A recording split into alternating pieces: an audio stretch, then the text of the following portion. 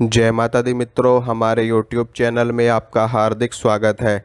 आज मैं आपको बताऊँगा कि किस प्रकार से जो ये तांत्रिक लोग होते हैं, जो ये बुरी प्रवृत्ति के लोग होते हैं, बुरी सोच वाले लोग होते हैं, कैसे आपका जीवन बर्बाद करते हैं।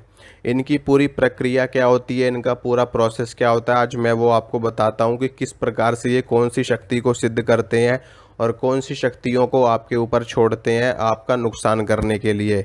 सबसे पहली चीज़ मैं आपको ये बता दूँ कि ऐसे लोगों के पास में कोई भी बड़ी सिद्धि नहीं होती है, कोई भी बड़ी शक्ति नहीं होती है।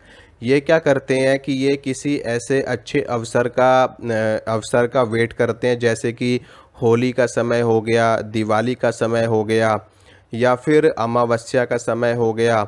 या फिर कोई कोई ऐसी परिस्थिति का ये इंतज़ार करते रहते हैं जिस समय पर किसी किसी जवान व्यक्ति की मृत्यु हुई हो और ये उसकी आत्मा को अपने वश में करने के लिए तत्पर रहते हैं, तैयार बैठे रहते हैं। नहीं तो फिर ये दिवाली की रात में जा कर के, होली की रात में जा कर के, शमशान में जाते हैं, वहाँ पर जा कर के ये साधना करते हैं और साधना करके किसी भी भूत, प्रेत, डाकिनी, शाकिनी को ये लोग सिद्ध कर लेते हैं।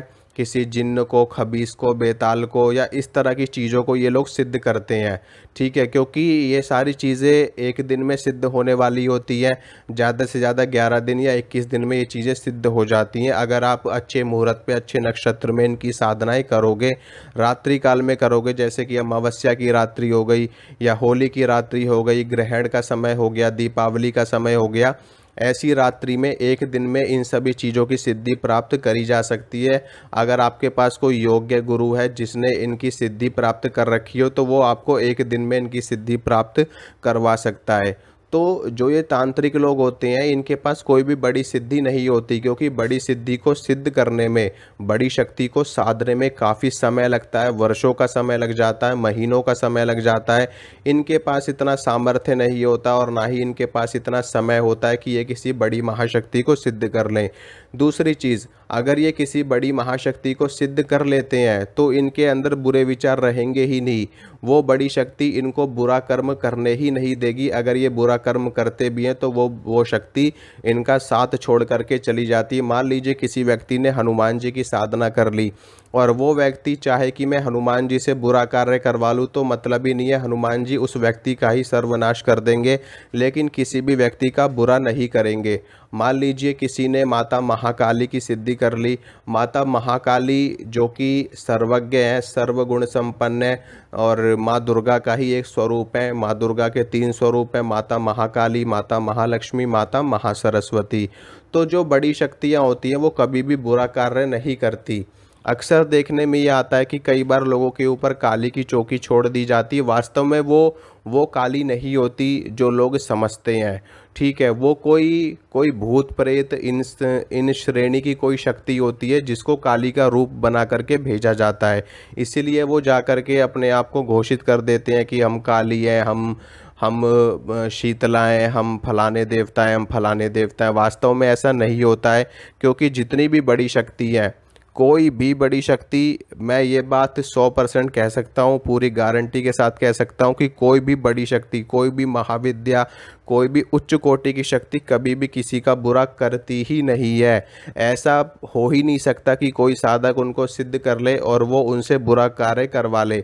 वो शक्ति तत्काल मना कर देगी और अगर कोई ज़बरदस्ती करता भी है कि नहीं, आपको इसका नुकसान करना है, आपको इसको मारना है, आपके, आपको इस, इसके इसके मतलब इसके परिवार पे नुकसान करना है तो वो शक्ति मना कर देगी और अगर फिर भी वो नहीं मानते तो वो उस साधक का साथ छोड़ करके शक्ति चली जाती है, बल्कि उस साधक का ही जीवन बर्बाद कर देती है।